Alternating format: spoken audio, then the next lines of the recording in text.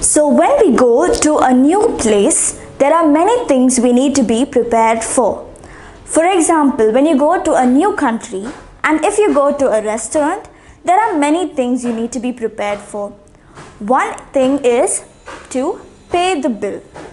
So, in order to pay, we need to know uh, certain basic things about the place. Now, for example, I have some information here about how the people pay their bills in France. So, let us read this and understand. L'euro. You know that the currency of France is the euro. L'euro est la monnaie de la France.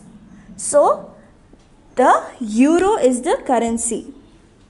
So first we need to know what is the currency. L'euro est la monnaie de la France et de beaucoup de pays and also for most of the countries d'Europe. So most of the countries of Europe have euro as their currency. So that is the first thing we need to know. The next thing is pour une somme de moins for a sum for a total the more the this euro for less than 10 euros so if the bill or the ticket. The bill is less than 10 euro.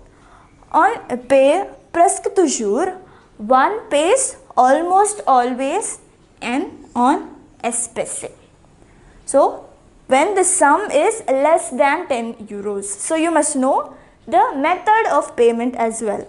So if the sum is less than 10 euros, always they pay in cash. Pour une somme de plus de 50 euros for a total of more than 15, 50 euros. So if you see the use of the words moins and plus.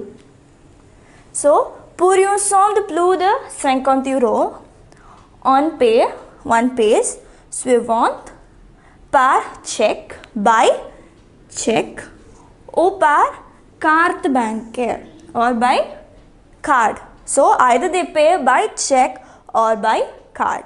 So if the bill is less than 10 euros, the more the this euro we pay in cash.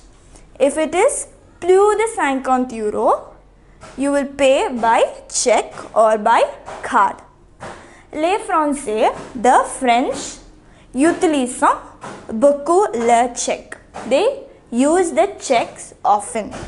So, this is some basic information you need to know when you go to a new place. For example, you go to a restaurant, to a restaurant and you need to pay.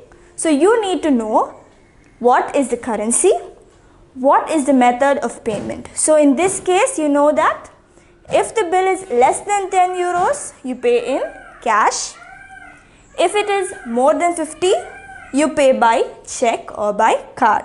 And les Français utilisent beaucoup le check. Next, we are going to see some of the expressions like how to ask for the price, etc. So these are the expressions you will be using when you are buying or paying for things.